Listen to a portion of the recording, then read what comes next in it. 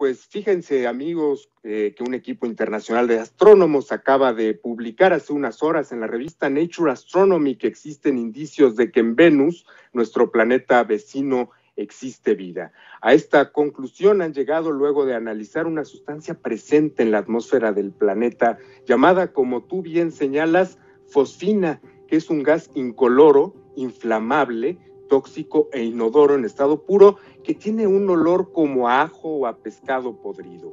De hecho, se le relaciona en nuestro planeta con organismos muertos y con heces, bueno, con las heces fecales. El descubrimiento ha generado mucho revuelo por si algún tipo de forma de vida estuviera detrás de este gas, aunque no se descartan otras posibilidades, como por ejemplo que el gas tenga un origen en procesos fotoquímicos o geoquímicos desconocidos. Las condiciones para que en Venus se desarrolle la vida pues son muy complejas, inclusive muy remotas, porque tiene una atmósfera ácida a pesar de tener un ambiente templado.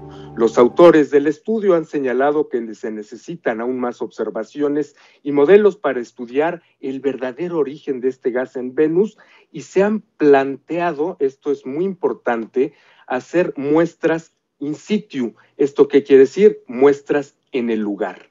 Esto, eh, pues es probable que no se dé a corto plazo por la sencilla razón que desde 1985, en plena Guerra Fría, y luego de que los rusos enviaran a Venus a las naves Venera, eh, pues no ha habido más, eh, no ha habido un regreso a este, a este Venus, a este planeta que se ve en nuestro firmamento todas las noches como el más brillante de todos. Es ese lucero que, pues en la mayoría de las veces lo podemos observar y que pues ahora nos sorprende con esta importante noticia. Carl Sagan alguna vez dijo, publicó hace algunos años en la revista eh, Nature que eh, curiosamente podría, podrían existir eh, microorganismos, organismos del tamaño de unas medusas que estuviesen eh, pues precisamente en la atmósfera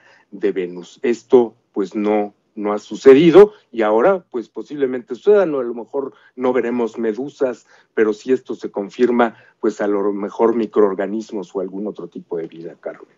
Un grupo de científicos encontró en la atmósfera de Venus un gas que, al menos en la Tierra, sugiere la presencia de vida, según indicó un estudio publicado este lunes en la revista Nature Astronomy. El gas fosfina, que es tóxico, inflamable y maloliente de hecho, es producido por bacterias que no necesitan oxígeno, así como por materia orgánica en descomposición. Bueno, Sarah Sager, astrofísica en el MIT, el Instituto Tecnológico de Massachusetts y coautora del estudio, dijo en un correo electrónico que algo completamente inesperado e intrigante tendría que suceder en Venus para que se produzca el gas fosfina. Aunque sus datos revelaron una firma espectral única para los rastros de fosfina en la atmósfera de Venus, no pudieron determinar cómo se produjo el gas. Los investigadores utilizaron telescopios e instrumental ubicados en Hawái y en el desierto de Atacama en Chile el equipo continuará esta investigación sobre el origen de la fosfina en Venus, según confió la investigadora.